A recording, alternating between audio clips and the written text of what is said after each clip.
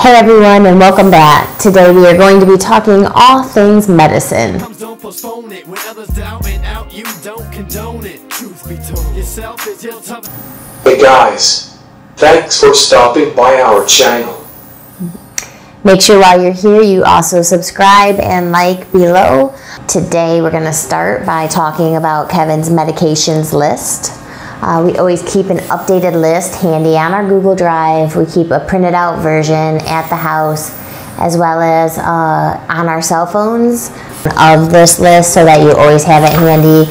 If you go to a doctor or hospital, they're going to ask you what medications he is on, um, and you're going to have to know the milligrams and all the dosage, and you're not going to be able to do that, especially if it's under any kind of, unfortunately, duress. So make sure that you keep an updated list of that handy. Just a little trick of that. We also have found um, since his medications vary from AM to PM having two separate pill grinders for that is important because you're going to have leftover residue of melatonin or um, any kind of nighttime medications.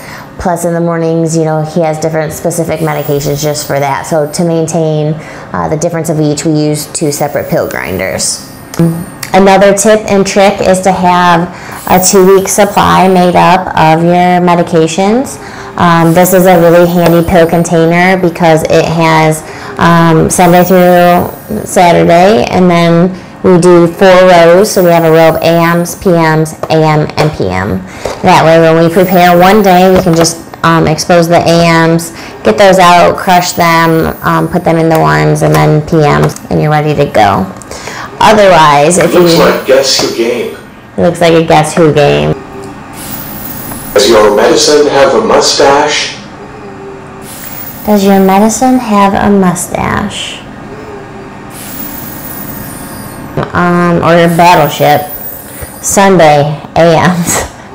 you sound like battleship for sure. Anything from glycopyrrolate to help with secretions uh, suppression. He has ibuprofen. He has melatonin, different vitamin combinations uh, that we recommended.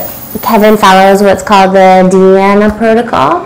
Uh, so that also uses Simplesa supplements. He has this one is called the AAKG, and then he has an AM and PM version of those as well. And he gets a scoop of those added to each AM and PM.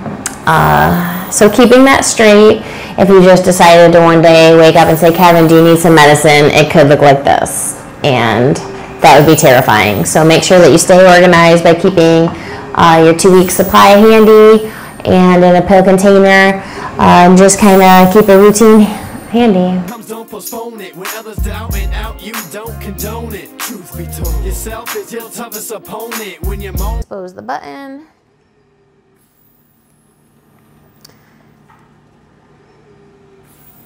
This is just one more chance for him to get some more hydration. So we do use the vitamin water zero.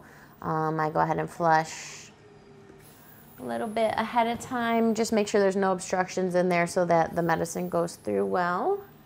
And he's already eaten, so. I'm ready to for my close-up, Mr. DeMille. Ooh. And down the hatch. And then we flush again with a little bit more vitamin water. And that is how Kevin medicates. Good night. Thanks for watching. Don't forget to smash the subscribe button. Seriously, just do it. Seriously, just do it. It helps us so much when you subscribe. So help us get to our thousand subscribers.